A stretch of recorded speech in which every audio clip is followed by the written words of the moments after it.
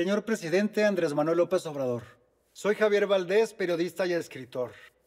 El 15 de mayo de 2017 fui asesinado por órdenes de alguien a quien no le gustó lo que publiqué, pero aquí estoy, como me ve, hablándole.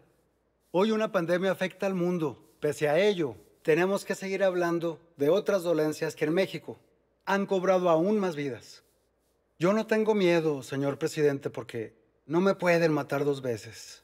Por eso vengo a hablar por las y los cientos de periodistas que fueron asesinados, desaparecidos y desplazados por realizar un periodismo ético de investigación que desnudaron las entrañas del poder corrupto y el crimen organizado en México, que es producto de la indiferencia, por no decir complicidad de varios gobernadores y funcionarios estatales y federales.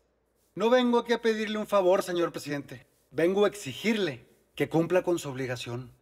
Hasta que mi crimen y los de mis compañeras y compañeros no estén aclarados, ni nosotros ni nuestras familias tendremos paz.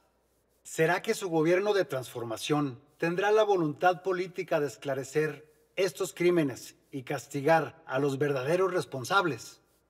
Hoy tiene usted, señor presidente, la oportunidad de diferenciarse de sus antecesores y hacer un cambio de verdad, de darnos justicia.